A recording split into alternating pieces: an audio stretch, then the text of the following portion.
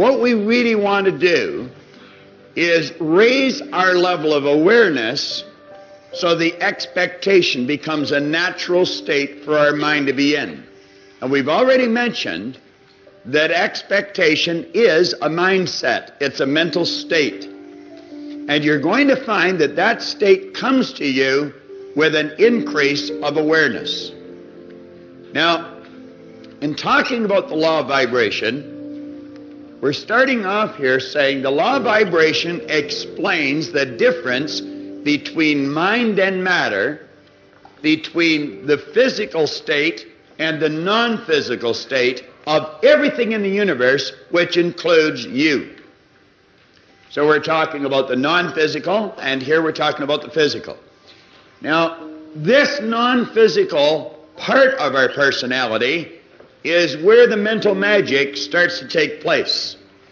We call these our creative tools. They're mentioned in an earlier lesson under the heading of intellectual factors. And it's the intellectual factors that we want to develop. And in developing them, what we do is raise our level of consciousness. Now you come back here, we say under the law of vibration, we find that everything vibrates, nothing rests. Everything is in a constant state of motion. There is no such thing as inertia. From the mental to the grossest form of matter, all is in vibration. This lectern is made of, I suppose we would call it lucite. However, it appears to be solid, but it's really not. If you look under a microscope, you'll see particles of energy moving. And of course, that would be the same with every physical form that you might look at under a microscope. Now, we say graduating between the lowest and the highest form of vibration, there are literally millions of cells or levels of vibration. Rates of vibration are known as, known as frequency. The higher the frequency, the more potent it becomes. Thought being one of the highest forms of vibration and very potent in nature should certainly be understood. Now, I have mentioned in many, many seminars that thought waves are cosmic waves that penetrate all time and all space. It's not an accident if you happen to be wandering down the Champs Elysees in Paris or maybe Oxford Street in London, England, and a loved one may be sitting in Colorado Springs and they're really concentrating. Something has happened at home and they really want you to phone home. All of a sudden, you get a feeling you should phone home. Now, what did we say feeling was? Vibration. Their thought waves are in resonance or in harmonious vibration on the same frequency as certain cells in your brain. And as that thought wave of theirs strikes your brain cells, it sets up a vibration in you. You call that a feeling. You've got a feeling you should phone home. And you phone and they'll say, Oh, thank goodness you phoned. We've been wanting to talk to you. Do you think that's an accident? Again, it's the same thing when uh, you pick up the phone to phone someone. You haven't touched the dial, uh, the phone hasn't rang, and yet the other person's on the other end. We put that off as coincidence and we laugh about it. It's an absolute law. You were in tune with the other person. Now, we started out yesterday morning with a glass of water. In the earliest lesson, we were coming under and talking about these three parts of our personality, and then we related it to energy. I held up a glass of water and I said, in the state of vibration it was in, the energy was called water.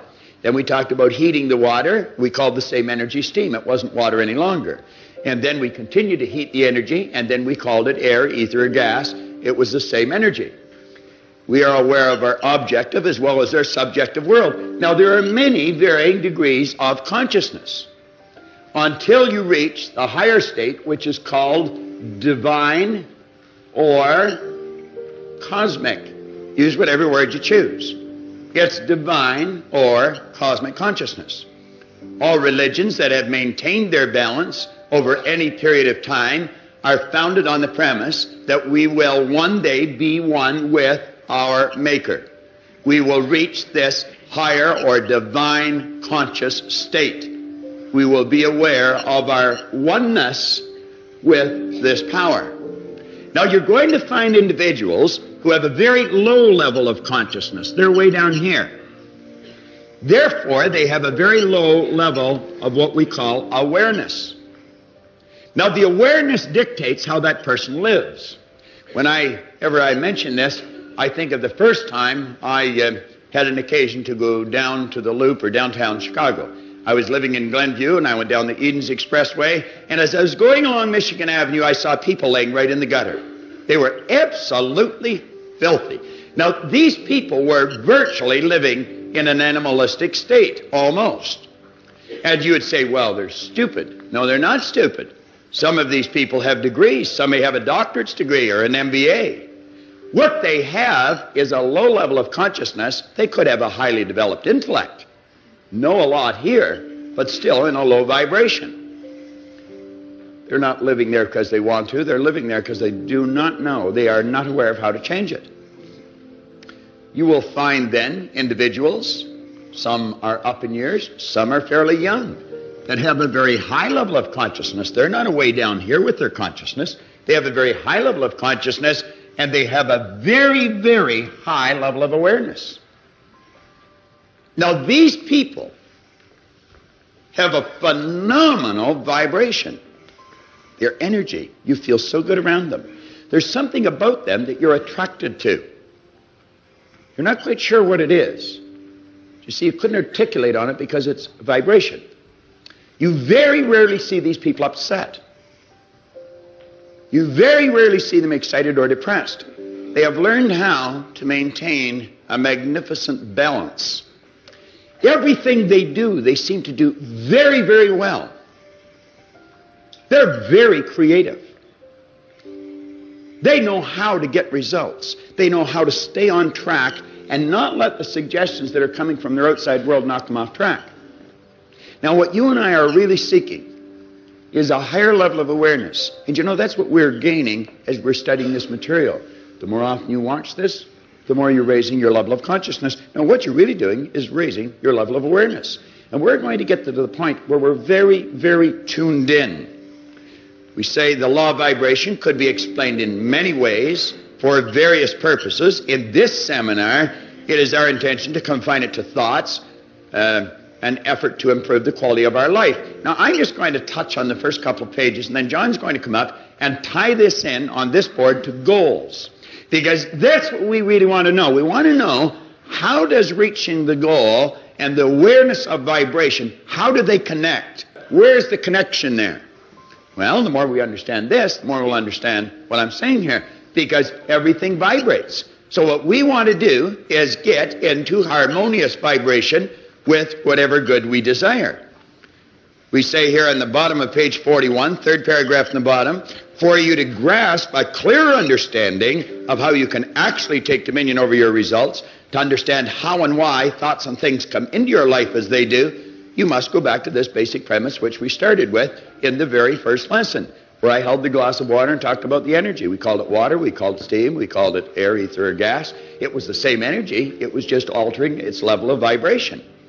Now we say energy is neither created nor destroyed. All science and all theology have taught us that for, let's say, for the past 6,000 years at least in recorded history. Now, everything is merely in a constant state of vibration, being manifest in all varying degrees of vibration. We have the ability to alter the vibratory rate of anything. I could take and alter the vibratory rate of this lectern.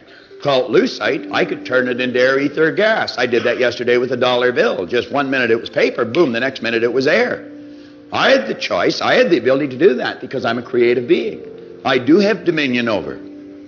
Well, now we know that with simple little things. Let's use it for higher things. We say with free will and the other many, many mental factors we possess in our marvelous mind, you have the co-creative ability to cause vibratory change to take place as you choose. If I'm not feeling good, negative vibration, I can switch the idea in my mind. All of a sudden, I'm feeling good. Positive vibration. How's that controlled? It's controlled by the various ideas that I will choose to entertain to, from time to time because whatever goes in here dictates the vibration my mind body is in. And we must understand mind body are one and the same, not two. Now, with free will, reason, is one intellectual factor, will is another intellectual factor. Reason gives us freedom, and the will gives us the ability to lock into an idea and control our vibration and stay in the vibration we must be in to attract something that's already here.